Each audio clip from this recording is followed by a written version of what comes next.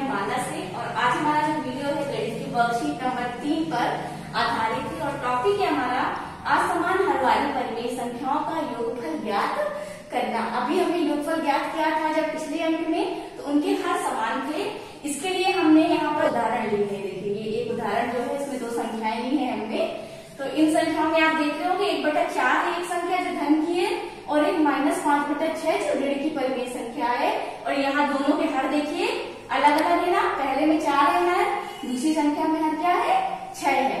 तो हमें इनका योगफल ज्ञात करना है। तो हम सबसे पहले क्या करेंगे? इस तरह के सवालों की प्रक्रिया होती है कि पहले हम इनका हर समान कर लेंगे असमान हर को क्या करना है? समान करना है। तो इसके लिए सबसे पहले हम जो ये हर है, चार और छह, चार और छह, इसका निकालेंगे हम लासा निकाल लेते हैं लासा लासा निकालना आप सभी जानते हैं, पिछली कक्षाओं में पढ़ चुके हैं।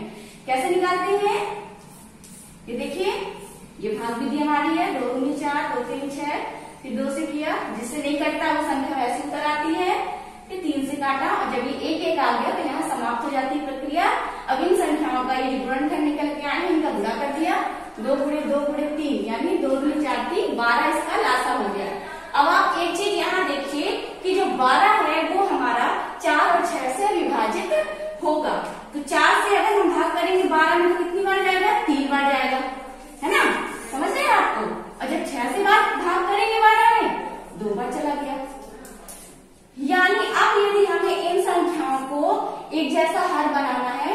तो हम यहाँ पर क्या करेंगे कि यहाँ बटे में बारह लाने की कोशिश करेंगे। ऐसे ही पाँच बटा छह में जो माइनस का संख्या दी है, यहाँ भी बटे में बारह लाने की कोशिश करेंगे। तो इसके लिए एक बटा चार बराबर, इसको ऐसे लिख दिया। और हमने देखा था कि यहाँ जो चार संख्या थी, वो बारह को तीन बार विभाजित कर रही थी। तो एक बटा चार में हम ऊपर नीचे तीन बार गुणा कर देंगे तो आप देख रहे हैं तीन बटा बारह आ गया। अब संख्या वही है देखो, लेकिन उसका रूप बदल गया। आप इसको काटोगे तो हमें मिलेगा क्या? एक बटा चार ही मिलेगा। लेकिन अब हमने समान हल करने के लिए इसका रूप थोड़ा बदल दिया। इसी तरह इसको भी कर लेते हैं। यहाँ कितने से गुणा करेंगे? छह गुनी बारह, दो से करेंगे।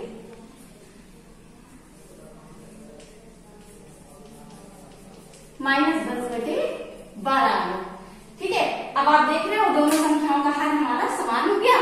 हमने समान वाली संख्याएँ तो जोड़ी ही, इसको भी जोड़ लेते हैं उसी तरह। अब हम एक चीज़ यहाँ लिख सकते हैं कि एक बटे चार प्लस माइनस पाँच बटे छह बराबर। तीन बटे बारह प्लस कोष्टक में माइनस दस बटे बारह। है ना? अब हर समान हो गए तो इसका लासा कितना आएगा? बारह आ गया, और आप अब इस प्रक्रिया को दोहरा लेंगे। बारह से भाग किया, बारह में एक आया, ऊपर एक से गुणा किया, तीन आ गया। फिर प्लस कोष्टक लगा के फिर भाग किया एक ऊपर गुणा किया माइनस का दस। अब हम क्या करेंगे? कोष्टक हटाएँगे तो चिन्हों का गुणा कर देंगे प्लस और माइनस का माइनस हो जाएगा। उससे पहले हम यहाँ तीन उतार लेते हैं। और ये माइनस का दस आ गया बटे में कितना आ गया? बारह, बराबर हो गया हमारा। अब देखो, तीन में से दस घटाना है इनको। नहीं घटेगा, यानी पूर्णांकों की तरह घटाएँगे तो यहाँ माइनस सात आ जाएगा और बारह आ जाएगा। तो यह हमारी संख्या हो गई, और यही हमारा उत्तर हो गया। एक चीज़ और है यदि हमें इस जो उत्तर आया है, सात बटे बारह हमारा इसका उत्तर हम यहाँ लिख देते हैं। इस उत्तर को हम अगर संख्या रेखा में दर्शाना चाहते हैं कि कैसे मिलेगा हमको तो वो भी हम कर सकते हैं। हमने इन संख्याओं को समतुल्य निकाल लिया था। एक बटे चार को क्या लिखा था हमने? तीन बटे बारह लिखा था। और पाँच बटे छह को हमने लिख दिया था दो पाँच बटे दस। माइनस दस बटे बारह। अब जैसे हम इसे, अभी हमने पिछले अंक में देखा था कैसे भी संख्या को संख्या रेखा पर निरूपित करते हैं। तो इसके लिए पहले हमें विस्थापन की आवश्यकता होती है। तो यहाँ विस्थापन हमारा क्या हो? जाएगा एक बटे बारह, क्योंकि दोनों के हर बारह है जो कि समान है। तो अगर हम यहाँ ज़ीरो इस पॉइंट पर लिख देते हैं तो अगले सभी पॉइंट हमारे एक बटे बारह की दूरी पर होंगे। इधर धन की संख्या हो जाएगी और इधर ऋण की संख्या हो जाएगी। एक बटे बारह डिस्टेंस में